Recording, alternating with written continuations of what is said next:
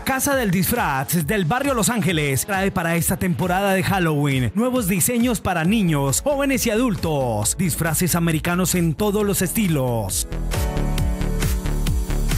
La Casa del Disfraz de Los Ángeles se encuentra ubicada en la calle 1E Sur, número 1444, frente al parqueadero del barrio Los Ángeles. No se deje confundir, la Casa del Disfraz del barrio Los Ángeles. Para todos nuestros televidentes y cibernautas del canal CNC Noticias Buga, les damos la más cordial bienvenida a esta emisión que se realiza desde el centro de la ciudad señora y que corresponde al 25 de octubre de 2017. A continuación presentamos los titulares.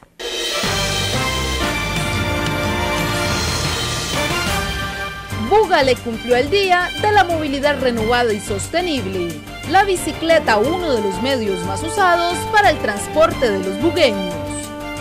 Continúan las actividades del mes ambiental. Este jueves se llevará a cabo caminata nocturna. Entidades de socorro participaron del simulacro nacional de evacuación por sismo en Buga. Dos personas heridas dejó accidente de tránsito en la doble calzada Buga-Tuluá el Distrito de Policía Buga cuenta con 48 nuevos auxiliares que apoyarán actividades comunitarias. Espera en nuestro resumen judicial la captura de varias personas señaladas de cometer más de 16 homicidios en Cali. Y al finalizar, tendremos los hechos que son noticia en la región en nuestro Mirador Nacional. Esto es CNC Noticias desde Guadalajara de Buga.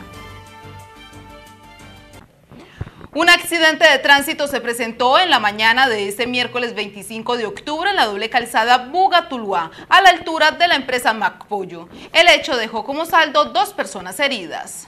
Hacia las 11 de la mañana de este miércoles 25 de octubre se registró un accidente de tránsito en la doble calzada que de Tuluá comunica al municipio de Buga a la altura de la empresa Macpollo.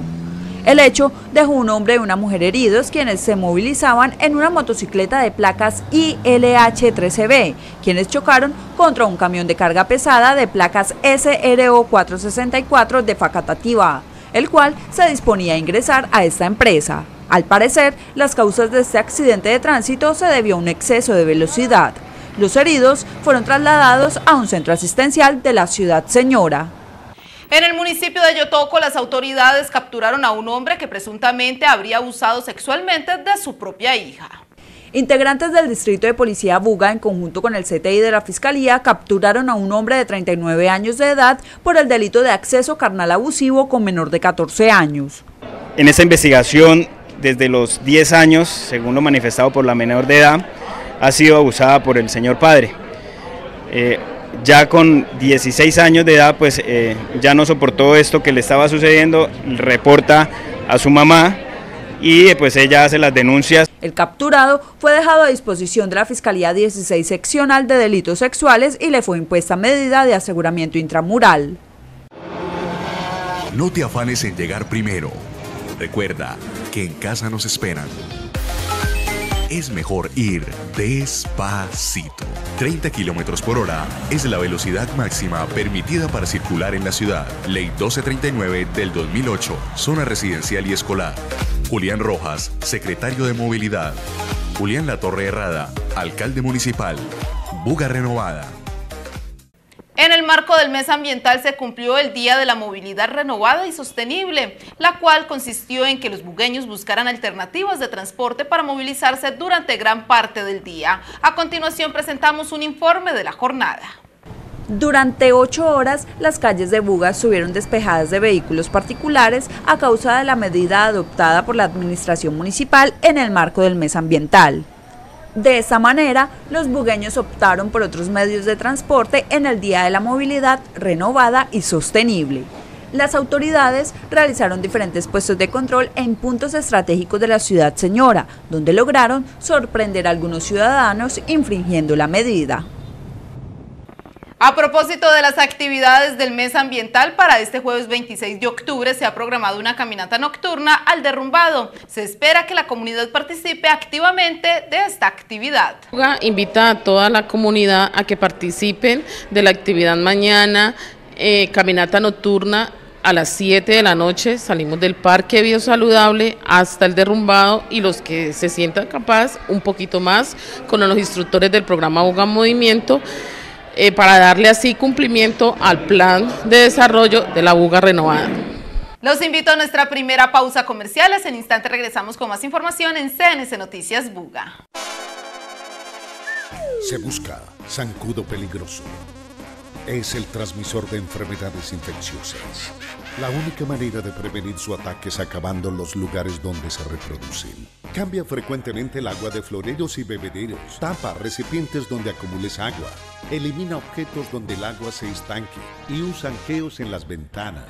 Sin mosquitos no hay dengue, ni chikungunya, ni zika.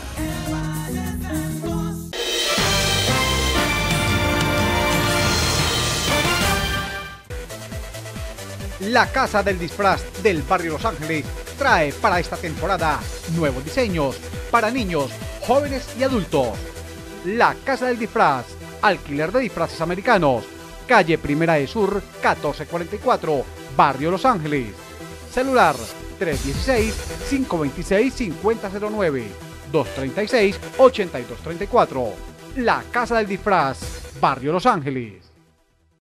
Llega el evento académico para impactar con mente y corazón. Mes del Comerciante 2017. Del 4 de octubre al 1 de noviembre. Todos los miércoles una gran jornada con temas de inteligencia emocional, finanzas, creatividad, innovación, Facebook para empresas, rueda de negocios y administración del tiempo. Inscríbase en www.ccbuga.org.com. Un evento de la Cámara de Comercio de Buga. No lo piense más. Lleve sus ahorros al Banco Mundo Mujer. Aproveche nuestras tasas gane siempre intereses y guarde su dinero de forma segura. Pregunte por nuestros productos, cuenta de ahorro y CDT. Contáctenos en todas las oficinas del país. Más información en la web www.bmm.com.co o en la línea gratuita nacional 018 666 Juntos construyendo un mejor futuro. Vigilado Superintendencia Financiera de Colombia.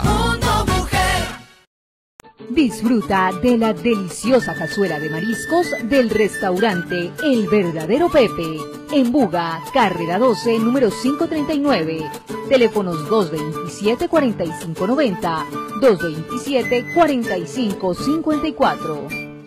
31. Visítenos en la página web www.proviviendalasorquídeas.com. Se creció, se creció. Ahora es mega chuleta, con el mismo sabor y calidad de siempre. Muchos nos han querido imitar, pero como el restaurante Don Carlos, solo hay uno. Disfruta de nuestros platos en compañía de tu familia y amigos. Carrera Octava 854. Restaurante Don Carlos. Domicilios 227-3248 y 237-0635. Celular 317-692-7250.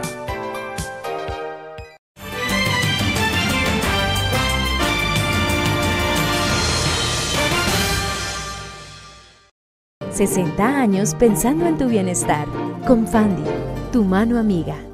Gracias por continuar con nosotros. Guadalajara de Buga se unió al simulacro nacional de evacuación por sismo, actividad que se llevó a cabo en diferentes sectores de la ciudad señora. Uno de ellos fue la Ciudadela Educativa Agrícola de Guadalajara de Buga. Estudiantes de la Ciudadela Educativa Agrícola de Buga participaron del simulacro nacional de evacuación por sismo, el cual se realizó hacia las 10 de la mañana de este miércoles 25 de octubre. Allí, los estudiantes fueron alertados de un movimiento telúrico y de manera controlada se desplazaron hasta el punto de encuentro en compañía de docentes y directivos. En esa actividad se simuló la desaparición de tres estudiantes debido al colapso de un edificio, logrando así alertar a las entidades de socorro, quienes activaron todo el plan de búsqueda de los menores. En este simulacro, realizado en la Ciudadela Educativa Agrícola de Buga, participaron el Cuerpo de Bomberos Voluntarios de Buga, Defensa Civil y Cruz Roja. A continuación presentamos toda la información judicial de los hechos más relevantes del Valle del Cauca. En un operativo conjunto entre miembros del CTI de la Fiscalía y la SIGIN de la Policía Nacional, se impactaron las estructuras delictivas Los de Villa y San Pedro, quienes están dedicados al hurto en todas sus modalidades, homicidios, porte de armas de fuego y de sustancias estupefacientes, específicamente en las comunas 11 y 12 de la ciudad de Cali. Las dos organizaciones delictivas estarían inmersas en 16 homicidios y múltiples hurtos ocurridos entre los años 2016 y 2017. En el operativo se logró la captura de 15 personas, de los cuales 10 fueron con orden judicial y 5 en flagrancia. Durante las diligencias judiciales se incautaron estupefacientes como bazuco y marihuana. En la vía Bolívar-Río Frío, a la altura de Guasano, se presentó un accidente de tránsito en el sector conocido como La Herradura. En el hecho, se vieron involucrados dos vehículos de servicio público. En este accidente, uno de los conductores quedó atrapado en el vehículo y fue llevado a un centro de urgencias. La Policía Nacional en el Distrito Especial de Buenaventura logra la captura de un hombre de 23 años de edad, conocido con el alias de Kevin, quien tenía orden de captura por los delitos de homicidio agravado en concurso heterogéneo con tortura, quien es indicado de la comisión del homicidio de alias El Mango, ocurrido a inicios del presente año en Buenaventura. En el Teatro Municipal de Buga se realizó la ceremonia de juramento de bandera a los jóvenes que por los próximos meses prestarán su servicio militar como auxiliares bachilleres. 48 jóvenes que por tres meses realizaron inducciones para pertenecer a la Policía Nacional, el día de hoy realizaron el juramento de bandera. Son puestos a, disposición de unos municipios para el trabajo de lo que tiene que ver eh, comunitario, trabajo en prevención e infancia y adolescencia, trabajo en todos los temas de turismo, trabajo incluso de, vigilancia y control en todo lo que tiene que ver en los parques o puentes de los diferentes municipios. Estos nuevos auxiliares bachilleres serán distribuidos entre los diferentes municipios que componen el primer distrito de policía Buga. En Buga, Huacarí, Ginebra, eh, Yotoco, Restrepo, ellos son los que eh, han hecho unos convenios interinstitucionales y hemos logrado pues eh, que se manejen todo el tema de, los auxiliares para poder eh, aportar a todo el tema de la seguridad ciudadana y, en, nuestro plan estratégico que tiene que ver las comunidades seguras y en paz. En el municipio de Buga se contará con la presencia de 13 auxiliares bachilleres, quienes estarán reforzando los principales lugares de la ciudad señora. En la celebración de la Semana San Clementina, los estudiantes participaron de varias actividades culturales y didácticas. La creatividad de los estudiantes de la institución educativa Manuel Antonio San Clemente se vio reflejada en cada uno de los cuadros y maquetas que realizaron. Es muy bonito el trabajo que están haciendo los estudiantes eh, de la grados superiores, fundamentalmente, eh, en donde muestran sus habilidades, las cosas más bonitas que ellos pueden hacer. Estas son competencias adquiridas dentro de la institución por sus profesores de artísticas. Pertinente mencionarnos el profesor Orlando Arley Cárdenas y el profesor Gerardo Molina. En esta muestra artística se pueden apreciar algunos cuadros, los cuales están hechos en tejas de barro. Los estudiantes eh, están demostrándole a la comunidad en general que ya tienen unas habilidades que las están mostrando, como eh, lo hicieron también ayer en la feria empresarial a través de sus proyectos de, de empresas que tiene de que ya tienen unas habilidades, que ya tienen unos conocimientos y que pueden salir muy productivos a la sociedad al terminar, digamos, su bachillerato. Y eso me parece, me satisface, me parece muy bien. Las personas que deseen apreciar cada uno de estos proyectos realizados por los estudiantes de grados noveno, 10 y 11 pueden acercarse a la institución educativa Manuel Antonio San Clemente en las jornadas de la mañana y la tarde. Ahora hacemos nuestra segunda pausa comerciales. Ya regresamos con más en CNC Noticias Buga. Queremos darte 8 consejos para controlar el azúcar en la sangre y la presión arterial. Come más frutas y verduras. Prefiere arroz y harinas en su forma integral. Toma más agua y jugos con su dulce natural. Modera la sal en tus alimentos. Evita el sobrepeso Muévete, haz alguna actividad física, no fumes y visita al médico por lo menos una vez al año. Con esto vas a conseguir mejoras significativas en tu salud.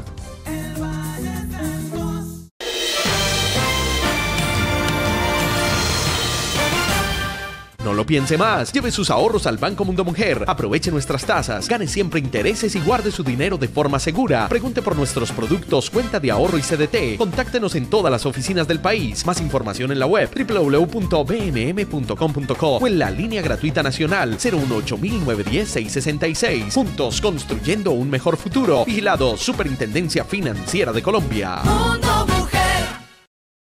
¿Pensando en qué estudiar? El ITA Profesional, Establecimiento Público de Educación Superior. ofrece una gran variedad de carreras técnicas y tecnológicas. Estudia con nosotros tres años y logra doble titulación. Además, contamos con sistemas de becas. Ingresa ya a nuestra página www.ita.edu.co y conoce nuestros programas ofertados o llámanos al teléfono 228-7544, extensión 111. ITA Profesional. El hurto y daños de medidores, problemas de fugas en las tuberías pueden generar sanciones. Sea legal, eso no le cuesta más.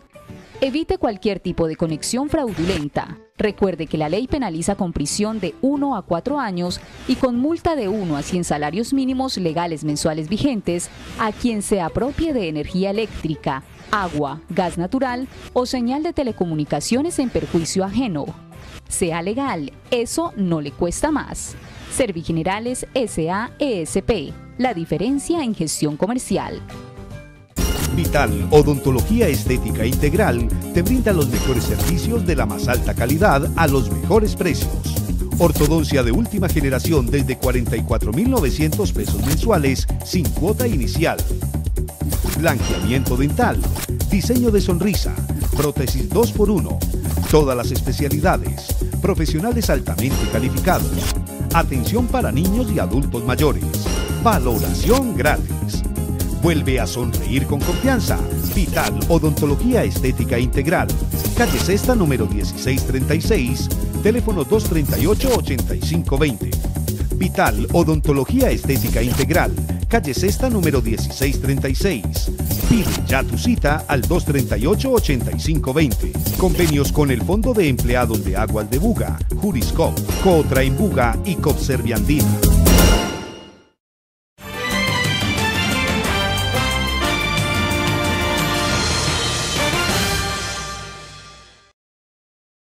Es momento de conocer los hechos que son noticia en nuestro panorama nacional gracias a nuestra agencia aliada noticias RPTV, al equipo de prensa de la Gobernación del Valle y a nuestros compañeros de CNC Noticias Tuluá.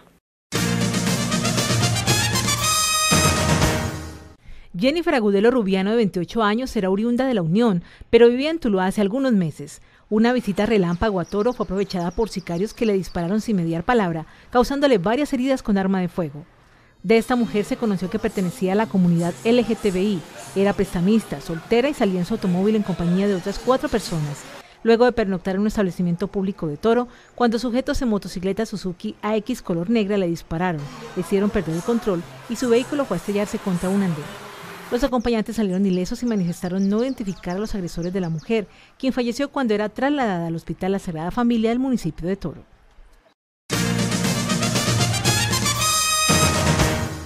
El comandante de la estación de policía hace un balance de la operatividad en el municipio, resaltando varias capturas que se dieron durante el fin de semana.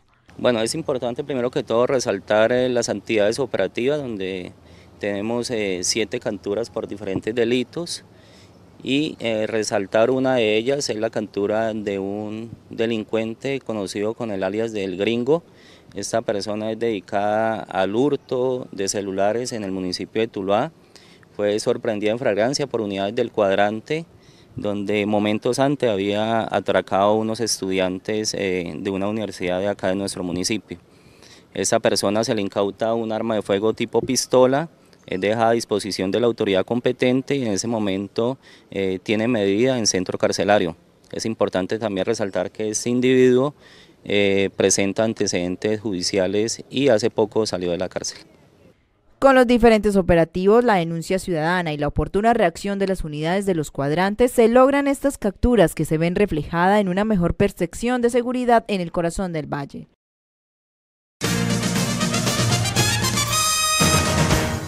Se llevó a cabo en el municipio de Florida el primer foro regional de educación rural que reunió a los diferentes actores del sector en torno a la creación de estrategias que permitan brindar un mejor desarrollo pedagógico y educativo a los estudiantes del campo. Identificar hacia dónde va la educación del Valle del Cauca en lo que respecta al sector agrícola y especialmente de cara al posconflicto. Hoy estamos viviendo una etapa distinta porque el proceso de paz tiene que traer unas consecuencias lógicas. Ahora el campo está en paz, ahora queremos que el, en el campo, se, desde el campo se construya la paz y tiene que ser una, una, una educación orientada hacia la productividad y mejoramiento de sus condiciones de vida. Los diseños de estos currículos tendrán como base las premisas que desarrolló la misión por la transformación del campo en el año 2014, las cuales contemplan la reflexión por el tipo y la calidad de la educación rural en el Valle del Cauca, cómo se imparte en los establecimientos educativos y cómo responde a los intereses y expectativas de la población. La Secretaría de Educación tiene 127 instituciones educativas ubicadas en sectores rurales, pero de estas 127, 50 son de vocación agropecuaria, para estimular que los estudiantes del campo permanezcan en el campo aplicando allí sus propios conocimientos. El Foro Regional de Educación Rural se desarrolló a través de un trabajo articulado entre la Secretaría de Educación Departamental y la Fundación Caicedo González Río Paila Castilla.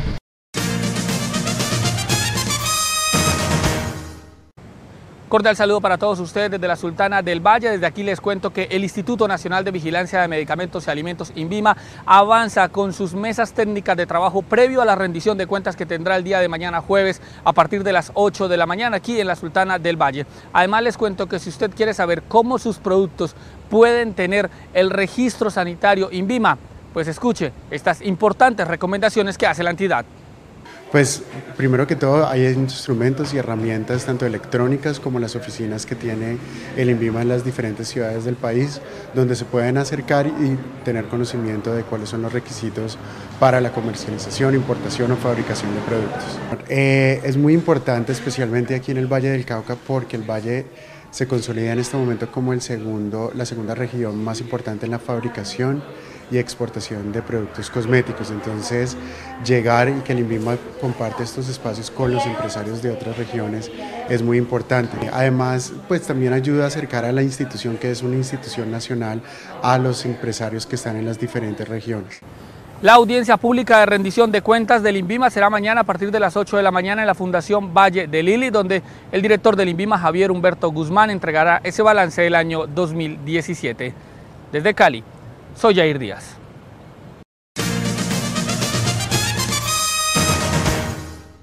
al representante de... En busca de acceder a más recursos para la protección de la ciénaga de San Silvestre en Barranca Bermeja.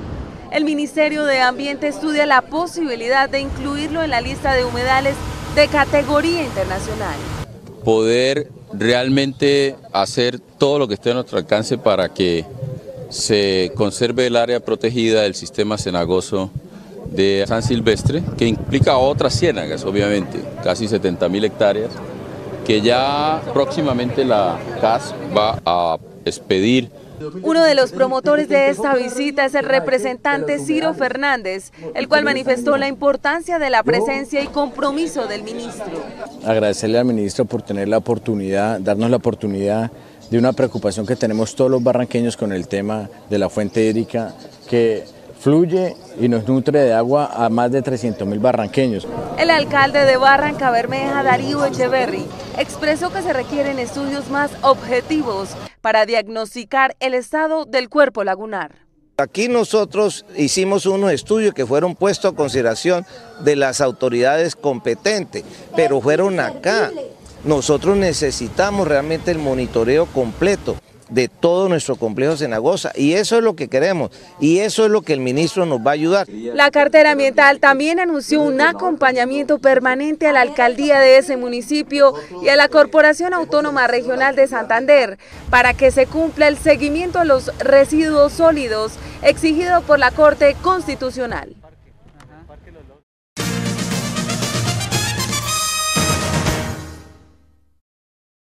Así llegamos al final de esta emisión de noticias. Recuerden que pueden visitar nuestras redes sociales donde pueden comentar cada uno de estos informes y de emisiones anteriores. En Facebook nos encuentra como CNC Bugavisión. También pueden visitarnos en nuestro canal de YouTube Guadalajara de Buga y en nuestra página web www.bugavision.com. Nos vemos en una próxima emisión. Hasta pronto.